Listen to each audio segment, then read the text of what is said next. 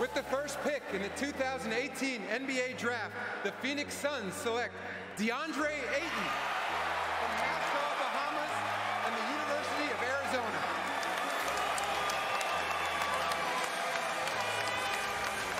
What's up, kaibigan?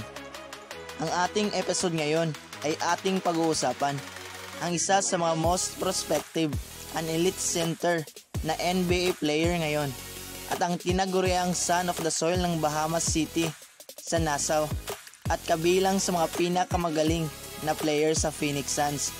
Walang iba kundi si DeAndre Ayton. Marahil ay nasubaybayan nyo na kung paano dinumina ni Ayton kung mga kapwa manlalaro sa loob ng court at isa siya sa mga dahilan kung bakit mataas na ang narating ng kuponang Phoenix Suns ngayong season.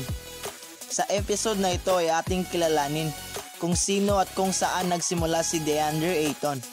Bago yan, kung ikaw ay bago pa lang sa aking channel, ay huwag kalimutang mag-subscribe at pindutin mo na rin ang notification bell para updated ka sa mga susunod na bagong upload na video.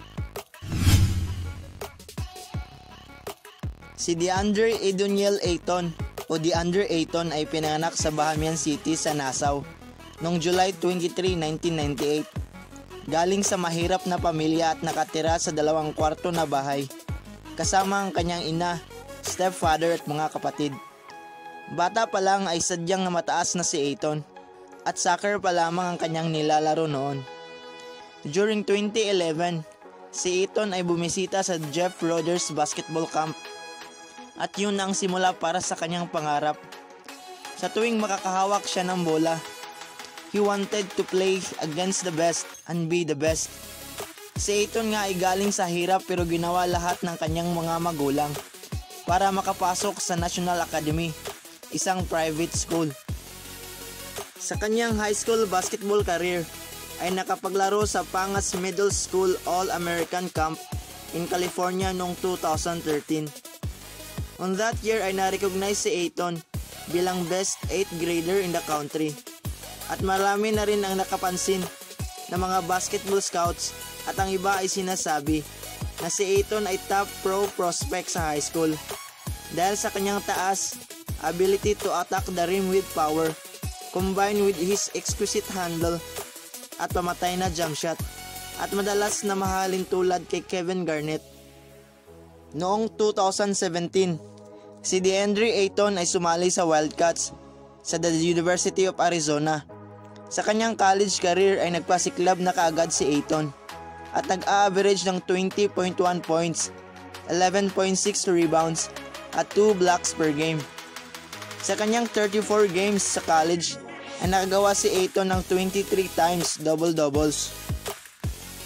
After one season in college, si Ayton ay na-draft na kaagad sa NBA bilang number 1 overall pick ng Phoenix Suns noong 2018 NBA draft.